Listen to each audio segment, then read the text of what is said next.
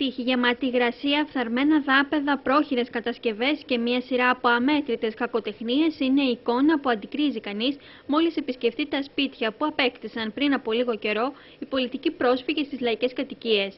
Μετά από έναν μεγάλο γολγοθά για να αποκτήσουν τη δική τους στέγη και να ζήσουν με αξιοπρέπεια, το όνειρο μετατρέπηκε και πάλι σε εφιάλτη. Για να αντιμετωπίσουν όλες αυτές τις κακοτεχνίες, καλούνται τώρα να πληρώσουν τα έξοδα οι ίδιοι. Τη στιγμή μάλιστα που πρόσφατα η νομαρχία τους πληροφόρησε ότι διέθεσε περίπου 15.000 ευρώ για εργασίες συντήρησης. Είπαμε επιτέλους ότι θα ανασάνουμε.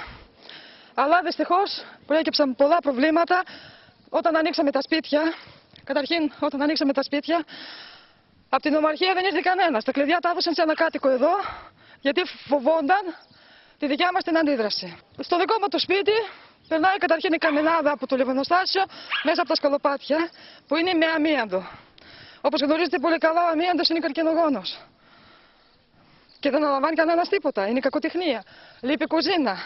Όταν εγώ απευθύνθηκα σε όλες τις υπηρεσίες, έγινα μπαλάκι των υπηρεσιών αυτών. Νιώθουμε ξένοι στον τόπο μας, συμπληρώνει η κυρία Κουμαδίτη. Την μέρα της κλήρωσης μας έδωσαν ένα χαρτί να υπογράψουμε. Κανένας από τα 16 άτομα δεν το διάβασε. Όταν πλέον ηρεμήσαμε και το διαβάσαμε, γράφει στην παράγραφο 6 ότι υποχρεώμαστε να εξοφλήσουμε την αξία των σπιτιών.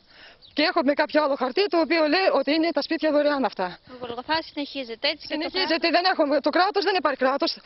Δηλαδή ήμασταν. Τι να πω, ήμασταν Έλληνες στο εξωτερικό και είμαστε ξένοι εδώ. Στον τόπο σας. Στο τόπο μας.